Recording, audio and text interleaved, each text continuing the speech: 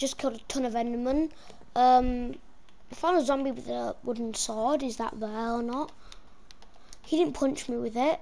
I also, waited about an hour for my food to cook. Um, yeah, I was throwing my blocks in the lava and then I accidentally threw my damn pickaxe in the lava. Um, yeah. So that actually worked out really well. Um, so yeah. Guys, I just wanted, I, I just wanted to let you know.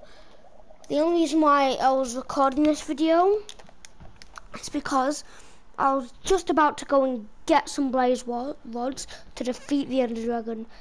Guys, this has been a really good episode. This has been a really good series. And I hope you guys all, like, actually, I hope you guys enjoyed the series. Because it's about to go all to waste. And I was mining a little bit more. Um, and I actually got um, I was mining a little. What am I talking about? I was mining a little, a little bit more, and I found a spawner. That's how I got all these levels. So I'm about to go and get another spawner. Get some blazes from a um, thingy, a blaze spawner in the tower, and then guys, it's time to defeat the Ender Dragon. So I'm real quick. I'm I'm gonna um run down.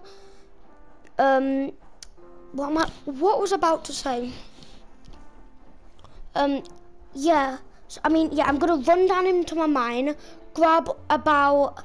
I'll grab levels until for level 40. It's gonna take forever. Um, but yeah, I was gonna grab levels until level 40, I guess. So, yeah, guys. Hope you all enjoyed this series. Um, next episode, we're to defeat the Ender Dragon. Promise. And then, you know, we can defeat him from there. We'll, we'll, we'll, we'll even destroy him again. Um, like, we'll just bring him back again and destroy him. So, hope you guys all enjoyed this series. Um, yeah.